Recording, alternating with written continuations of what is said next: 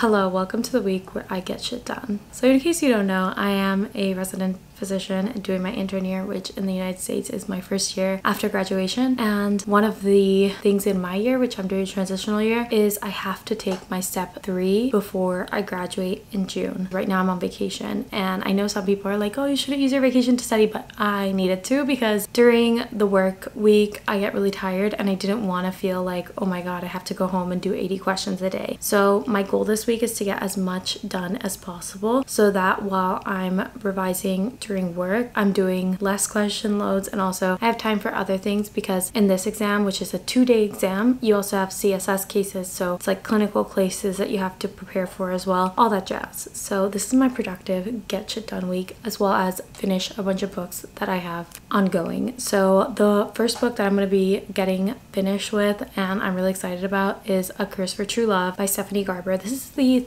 third book in the series and I'm currently around, let me check my Audible. I actually have the physical copy of this book, but I have listened to all of the audiobooks of this book. I like Rebecca Soler, she's the audiobook narrator. I wanted to continue listening to it because why not? So I'm around like 40% through this book. I have to say I like it, but I my big complaint with Stephanie Garber books is that every book does not feel the same in the sense of the formatting is different, the sort of storytelling, the plot, the lore and magic. Instead of like us having this like magic system world building that was established from the first book that we're building on it, it just feels like a different world completely. In this one, I've just been thrown off by the fact that there's now three POVs and in none of her other books there have been any of the male POVs. So I'm just like, what? What is going on? Also, how she changes like the lore. But I do like it. I like her writing style and I get to enjoy it. I just have accepted that her books tend to be inconsistent when it comes to actually like the world building and she probably needs like a story bible, but that's my opinion. That's my opinion! Let's get to work because I'm not reading anything until I finish and we'll take you along this journey of how I'm productive. Studying at this point is a lot different than it was when I was in med school because at this point the things that I'm studying I've already studied for two different tests and this test is nothing different other than like the clinical management part which I've been doing at work every day so I've been kind of preparing for it through my practice but now I'm like fortifying my knowledge and making sure that like I am stable. What I'm thinking and the science behind it all match up. So gotta get to my questions. You don't know what you don't know until you don't know it. It is 5.47. I've done 120 questions approximately. I say approximately because I've done a couple like here and there that weren't in the question banks that I did. Some from yesterday and some from today that was like two extra ones. I'm exhausted. I finished the ethics and psychiatry units with the last one that I want to do today. Let's just get into it. My eyes hurt. As you can tell, I'm sunburned. This is the Naturium Plant Ceramide Rich Moisture Cream. It was a sample in a recent order and let me tell you, it feels fantastic. Really chilled out of the freezer. Oh my god, I'm gonna want like an ice roller after this. I don't know, I've been very mindful of the messages I tell myself and the positive remarks that I give myself and just like making sure that in moments that maybe I'm like having a bad day or I'm feeling bad, just taking time for self care. I think that's been something that's been really missing from my life in these last couple of months. I really realized that once I had a bunch of free time and I was like, not free time, but like once I wasn't working and I was like, oh my god, like my well is so, so empty. this is your, you know, PSA, your daily reminder to take care of yourself and to always prioritize your mental and physical well-being, even if you're in a high stress environment. And I know, I know how hard it is because I'm there, I'm in it. I have a very stressful job, but it's totally worth it at the end. So Gonna put this back in the fridge. I'm gonna go to bed because I did 160 questions today, so I am exhausted. okay, I'll see you tomorrow. Hello, happy Tuesday. So today we are back. We are doing questions. 160 was a lot, so we're gonna try to do a little bit less today, like maybe 140. If I can make it to 160, like wow, I'm impressed with myself, but it was a lot, especially because it was like social and psych, and those aren't things I deal with every single day. So that's why it was like a lot, a lot. You know, that's what these questions are for, and that's why people say like the most thing that you can do when you're studying for your step three is questions. And I argue the same thing for step two and one because you just need to get used to the formatting and also like reintroduce yourself to the information. I don't deal with things of like ethics or psychiatry daily. Uh, so it's good to know like the laws, especially things like on health insurances and stuff. Like those I was so rusty. So yeah, today I'm doing infectious diseases and ENT. ENT I know very little but infectious diseases I know a little bit because it is something very common that we deal with in the hospital. So yeah, I'm just looking and the sun's coming out so I hope that doesn't change the lighting too much but I'm just looking to finish those two and I'm kind of going per section because that's what I find easiest. What I do is I mark the ones that I get wrong or the ones that I get right kind of by chance so that I can redo those and then at the end also do my incorrect again by the end of that. So hopefully I will have reviewed everything a couple times but I'm doing good. Honestly step three is a lot simpler than the other two because like you get it. Also wanted to update on A Curse for True Love which I have been reading and I'm on chapter 23 which I listen like stephanie garber isn't for everyone and you know like i am criticizing it but like i like the books but i'm just like at this point like come on like why are we doing this again?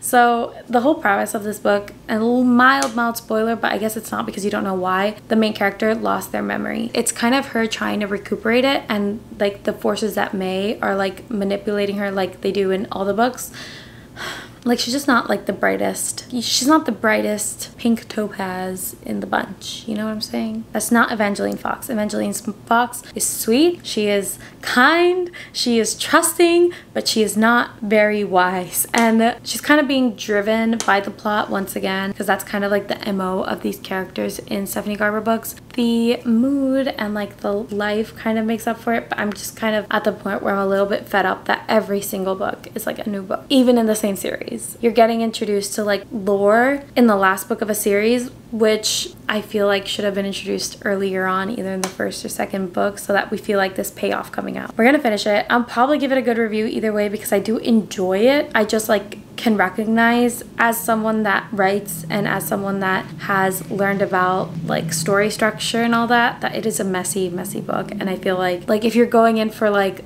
the right I would not use this to like learn how to write. Do you know what I'm saying? Maybe like descriptions, which also people also criticize because she spends way too much time describing what the lady's wearing. But in Spanish we say para gusto los colores, um, which means like for the likes, the colors. So yeah, I'm gonna get to work. I spent a lot of the morning looking at the Goodreads Choice Awards nominees. I'll see you later. Let's get to work.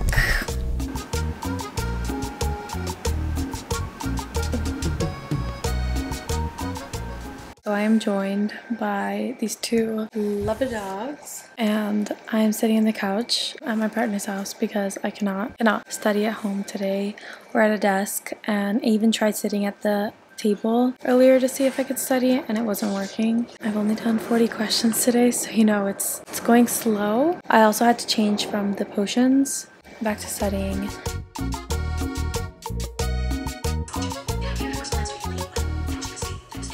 Hello, it is Wednesday. My vacation is slowly coming to an end. Oh my god. I already have like Monday blues and it's not even five days till Monday. But anyways, I did 140 questions yesterday and I just went to sleep because I got a bit of a headache. I did infectious diseases yesterday. I also finally made it to chapter 30 of A Curse for True Love. So that's exciting. That's exciting for us. We're making progress. Lots of progress this is where we're at. I am happy that our main character finally got her memories back because, like, let me tell you, I don't like that trope.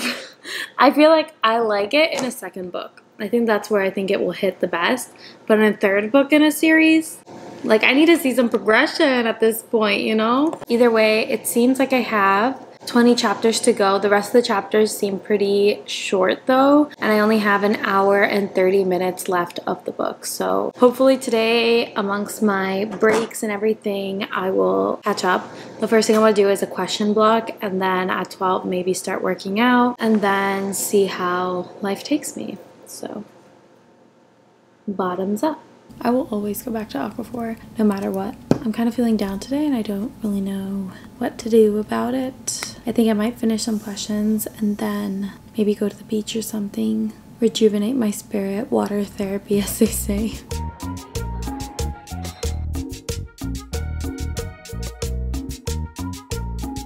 So I finished A Curse for True Love and I have thoughts and not all of them are positive. So I am a bit disappointed, not with the ending, because I feel like the ending was what I expected it to be and also it left it open-ended for continuation of the series so I feel like the book that's going to come out in like 50 or so days that Stephanie Garber announced like right after the ending of the Curse for True Love and also like during YALLFest it's gonna be like the continuation of this with like two characters. I think I already know which ones they are. Let me know who you think it is and I'll let you know if it's who I think it is. But I would say that I feel like Stephanie Garber's books kind of suffer the same curse of the North that the books in her book have, where the story just changes as it suits her. And I feel like things don't actually pay off the way that you really want them to. I feel like one of my big gripes with this book is that I didn't feel like the villain, and this was the same thing that happened in the Caraval series, that like the like the final boss in the last book wasn't built up as to be the the final boss. Didn't feel like it was like authentic. It didn't feel like it was deserved. And also like I feel her characters get off a bit too easy. Like at the end of the day like I'm not seeing people dying and not everyone has to die, you know, but like for how high the stakes supposedly are, they're never actually that high. And another thing that kind of just like left me like, oh, I don't know how I feel about this is that like Jax is like, from what I still understand, he's immortal still. Maybe I'm wrong. Let me know. And Evangeline isn't. So how does that work out? for them. Like, is she just gonna like continue aging and he's gonna stay young forever? It's not my favorite. I think that the ending was as like clean as it was gonna be, but the action truly started in the last 50 percent of the book and it felt rushed at the end and it just wasn't my favorite so that's disappointing but you know the next vlog will be better because it has to be better. As for my studying, it's been going. I am really stressed, but I'm really trying to control it, especially because yesterday I saw this documentary called like Live to 100 and one of the big things that they said was like you have to control your stress, like you cannot live in a constant state of stress. So I'm really trying to keep it under control with different techniques that I do like exercise, meditating, and all that jazz, and like kind of nourishing myself still and making time for like connection and community and everything while also studying. So today my big focus is to do like 120 questions, but you don't have to stick around for that. I'll see you in the next one and let me know down below if you like the Curse for True Love, if this is just like a me thing or what. Like I think it might be a me thing because everyone seems to have loved it and I do think that this is just like one of those things you know, I feel like this year has just not been my year for five star reads. I think I have like literally like maybe four so far this year. So we'll see. I have big plans for the month of December and the rest of November. So I'll keep you posted. Bye.